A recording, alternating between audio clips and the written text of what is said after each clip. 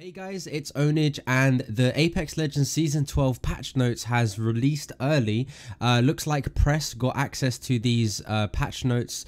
Um, they got their hands on it first. This has just been published today. So I'm going to be sharing this with you guys and at the end I'll do a summary and we can share our thoughts and opinions um, in the comments, you know, what, what are we most looking forward to from this?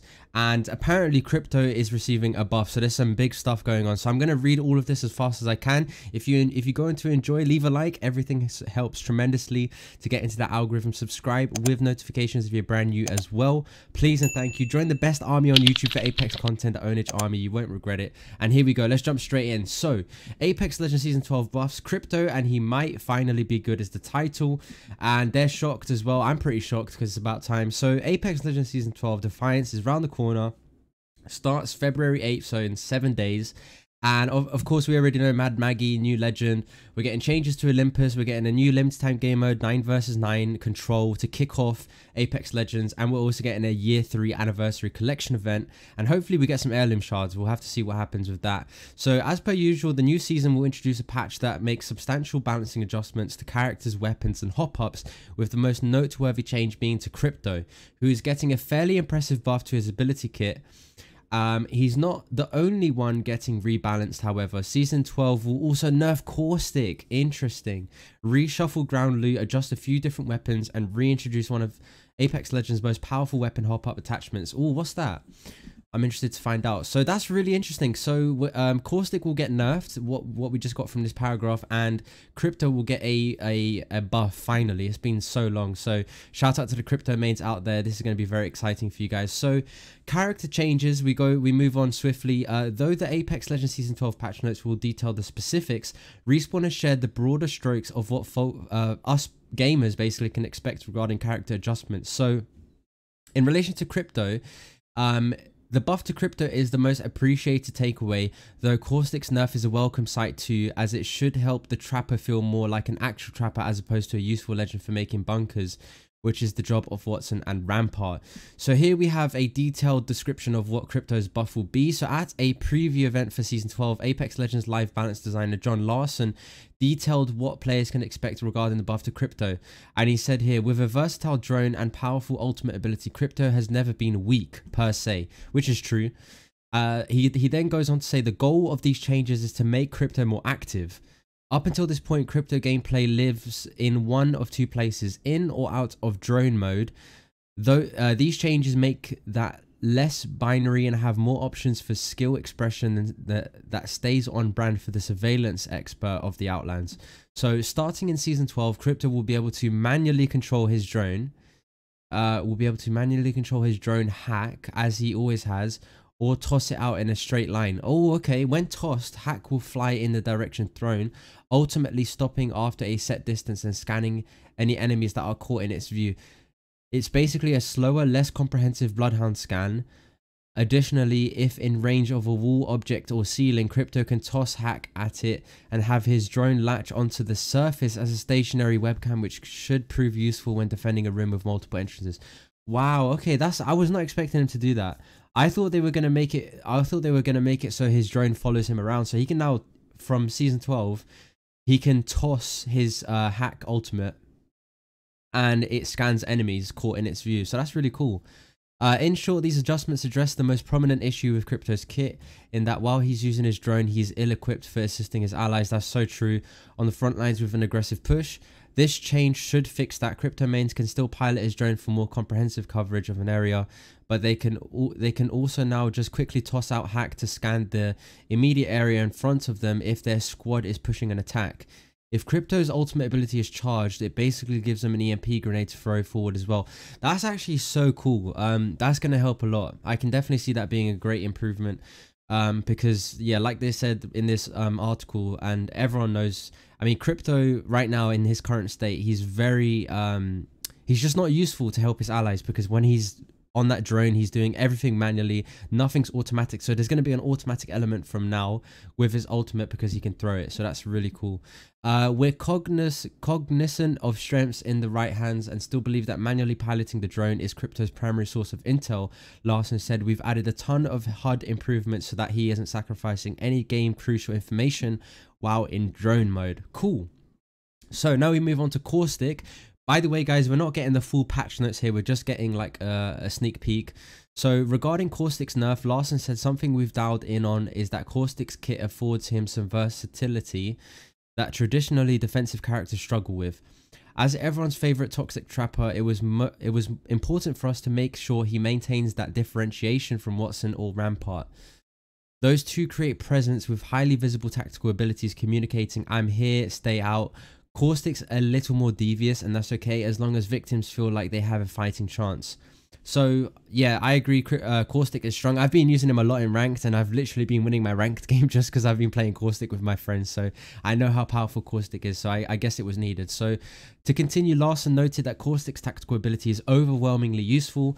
Uh, I agree. Though its purpose is to be a trap, its durability makes it useful for for a variety of situations. As the game has evolved, we've seen a massive amount of use cases for a single trap. Larsen said it has a quick deployment it doesn't require much precision. It can be used offensively to siege a room, defensively when on the run or camping out in a building, and once it's detonated, it provides over 10 seconds of visual and even physical cover. That's once again so true and I'm, I'm in a way i'm kind of upset like they've noticed all these uh, powerful aspects of caustic because i recently just started using caustic and discovered myself how powerful this legend really is so uh, i guess it's a shame for me in a way but it is what it is. To account for that season 12 is changing caustic's traps so that they're no longer invincible upon activation. Teams can now shoot and destroy an activated trap, which should help them escape a trap they've already sprung or, or stop a caustic from bunkering down and easily locking down all the entrances to a building with his with his trap. So he won't be as good in season 12 guys. Uh, according to larson caustic main shouldn't have to worry too much about this nerf. It's principally designed to give opponents a fighting chance in that now players can choose to respond to an activated trap by spending ammo to destroy it as opposed to before where the only choice to overcome an activated trap was to run away until the trap dissipated um, even with the nerf, however, Respawn has found Caustic traps to still be quite strong in Eternal playtests. Okay, that's interesting. Um, additionally, when a trap is destroyed, the gas it has emitted briefly lingers in the air, affording Caustic and his allies a window of visual cover to prepare for an attacking squad. Okay, so so like there'll still be a little bit of gas if a trap is destroyed. Um. So moving on to weapon changes here, ladies and gentlemen. So quite a few weapon and hop-up attachment changes are in store for Season 12. Um, getting the obvious out of the way, there are no new weapons for Season 12. Yep, that is obvious. We've not seen any weapon confirmed. After getting the 30-30 repeater, the Bocek, Compound Bow, Rampage, LMG, and C.A.R. SMG in back-to-back -back seasons in year 3, Apex Legends 4th year is kicking off without a new firearm to learn. Which is, which is, uh, it's good because we don't want too many weapons. Um, in terms of care packages, the alternate SMG is rotating out and, and returning to ground loot, which some people with a good eye for detail have already noticed, including myself. So they go on to say, which means no more disruptor rounds hop up, which is a shame because that thing destroyed people. But I'm kind of glad it's gone because it's annoying. Uh, in its place, the Volt SMG is rotating into care packages. No way.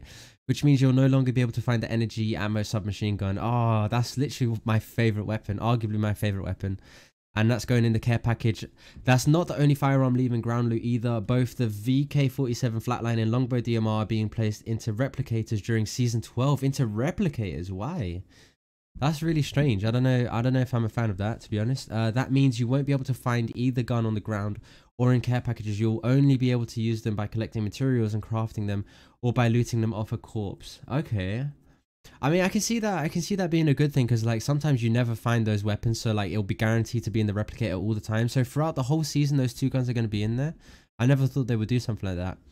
Uh, they do come with some ammo, so be able, so you'll be able to start fighting right away. Apex Legends lead weapons designer Eric Can Canavese said at the preview this does a couple of things for us. The first thing is that it improves the consistency at which you can run with these two weapons. You know static locations in the world where you can just go and find them but it also frees up some room on the floor gives us a little bit of breathing room for the rest of the loot. Oh yeah i didn't think about that. That's true as well. And that's really good so that you can more accurately target weapons you're looking for uh, your loadout without having to sift through a bunch of different weapons. Yeah because that way two guns are going to be removed completely from the floor so there'll be hopefully some better uh, weapons. And i think at the beginning they said they're changing the weapon uh, pool maybe making it better so we don't just see p2020 and mozambique everywhere um, for Hop Up Attachment Season 12 sees the return of Hammerpoint rounds. No way! It's coming back. A devastating attachment for sidearms that make them stronger against unshielded targets. Previously only able to attach to the P2020 and Mozambique. And oh no way, dude! Hammerpoints will now also be able to attach to the RE45 which sounds terrifyingly overpowered. Yeah, that sounds very strong. There's no way they're doing that. What? That has to be the title of this video. It's absolutely ter terrifying. The dev said hammerpoint is traditionally on slower rate of fire semi-automatic weapons. The Mozambique is automatic, but it's pretty slow.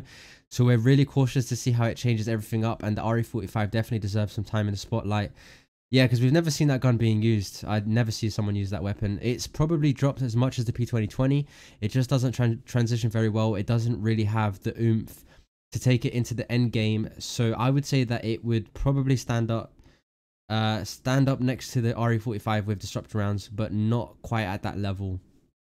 Uh, a much more temp uh, tempered version because let's face it, season two disruptor rounds were absurd. Yes, I remember playing the game when that was around. It was absurd. Uh, so it's a little bit more in line with the meta that we have right now. And Shatter Caps will also change Season 12. Instead of being a toggle, uh, putting this hop up on the 30-30 repeater or Bocek compound bow will cause these precision weapons to change to shotgun-like spread when firing from the hip, returning to precision fire when aiming down sights. And Season 12 adds a brand new hop up to Apex Legends as well called Kinetic Feeder. This hop up can go on the Peacekeeper shotgun or triple take, when it's attached, the kinetic feeder activates while you're sliding, taking ammo from your inventory and loading it into the chamber of the Peacekeeper or Triple Take and shortening the amount of time needed to choke either firearm for a more precise shot. Ooh, that's nice. All right. Ladies and gentlemen, I don't want to make this video too long. That is the end. Please let me know what you think. I'm very shocked that RE45 is getting that hop up. Um, that's going to be so terrifying, just like they said. And Caustic's getting a nerf, Crypto's getting a buff, some really nice changes, new hop up, all that good stuff. Thank you so much for watching. If you haven't already, once again, leave a like if you enjoyed. It really helps the video to grow, get into the algorithm. Subscribe if you are new, super important. There's a lot of Season 12 content around the corner that I'm going to be covering, including that 9v9 uh, game mode, Mad Maggie gameplay, all that good stuff, Olympus changes. I'll be covering, I'll be covering everything. So thank you so much. Have a wonderful day, and I'll catch you legends in my next Apex Legends upload. Take care.